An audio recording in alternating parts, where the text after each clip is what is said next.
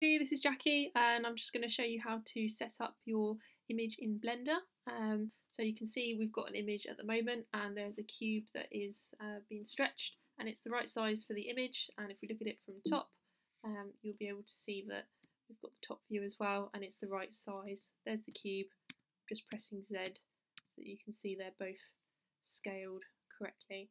Okay, so I'm going to walk you through the steps. Um, you feel free to pause the video um, whenever you need to. So I'm going to start a new file. So I'll do Command N, start up my new file. And it's really important that first of all, you look at your image um, from the top and that you are in orthographic mode. So I press 7 to get to the top, 5 to switch it to orthographic.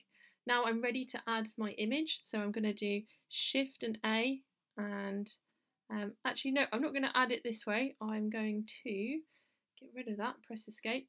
Um, if you press N, you get a properties panel at the side and I'm going to click on one of these that says background images. It's down here.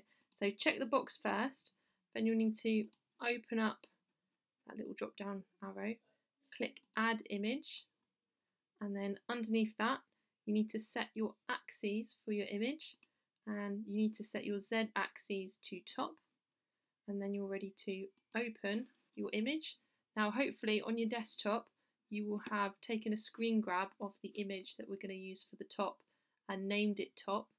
So I'll click on it now, click open image. So it's this plain view from the top. You can get it from the PowerPoint. Um, so that's set to the top. Um, so the next thing I need to do is to repeat the steps um, and add in the side image. One thing I could do first though is move this um, so that it is sort of sitting with the edge on the y-axis on the green line. Um, so to move, if you go back to this little area where you were adding background images, you see you've got a new dialog box now that says top.png. Um, just look down, down, down, down, and you can see you've got options to adjust the size, and here you can adjust the position. So I'm just going to click and drag, and I'm going to move it so that the edge of the image is on this line. Um, it's going to be really handy when we start mirroring your image and your objects. So really important to do that. Okay, so I guess we're ready for the next image. So you need to click add image again.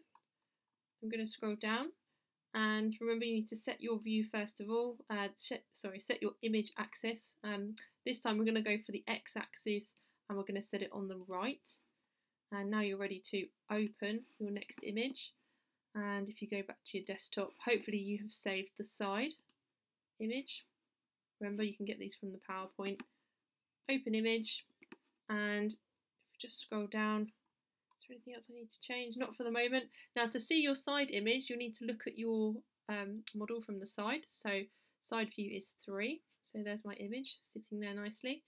Um, and the next thing to do is to actually start moving this uh, shape around um, so that it's starting to fit your image. Then we can sort of subdivide it and start making it into the plane.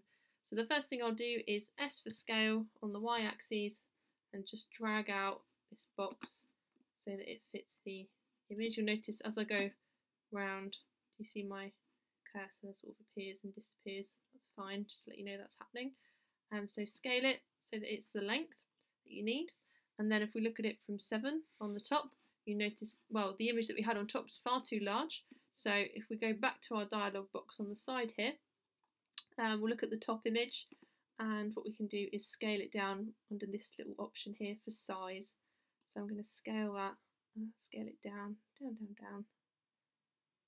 And now I can move it across with that setting that I played around with earlier. So let's move that back across. Now I can't tell if that's actually hitting the green line, so I'm going to press Z for wireframe um, so that I can see through the image and now I can position this um, just a little bit just to get it to stick. Great. So you should have then your cube um, that should now look like a rectangle extruded, uh, or sorry, I should say scaled on the y-axis. And that's the view from the top. And then if I press 3, that should be the view from the side. So now we're ready to start um, modelling